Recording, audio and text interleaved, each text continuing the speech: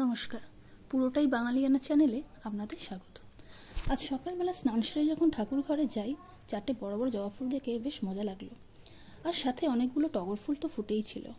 এই সবই আমার শ্বশুরবাড়ির গাছে হয়। এই টগর ফুলের মধ্যে দেখলাম একটা নীল অপরাজিতা রয়েছে একটা সাদা অপরাজিতা রয়েছে। আর দু তিনটে শিউলি ফুল রয়েছে। একটা মজার ব্যাপার কি জানেন? শিউলি ফুলের যে গাছটা আমাদের বাড়িতে আছে সেটা শিউলি ফুলের টাইমে তো প্রচুর ফুল দেয়। তাছাড়া বারো মাসই না দু তিনটে করে শিউলি ফুল দেয়। বিয়ের পর এই জিনিসটা আমি যখন প্রথম দেখলাম, আমার খুব অবাক লাগল যে অফ সিজনেও কি সুন্দর শিউলি ফুল ফোটে।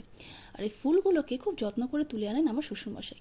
আর আমি সেগুলোকে সাজিয়ে রাখি ঠাকুরের সাথে চ্যানেলটা ভালো লাগলে সাবস্ক্রাইব করবেন।